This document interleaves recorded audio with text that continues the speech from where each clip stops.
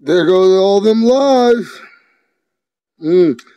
A dick around your neck. That makes no sense. That's the most gayest shit I've heard all week. And grandma, there go to the living room lie. Then the Chicago lie. I guess my birth certificate just is um fake then. Matter of fact, let me put my birth certificate on camera for we can just end all these lies. He just has to make them up all day long.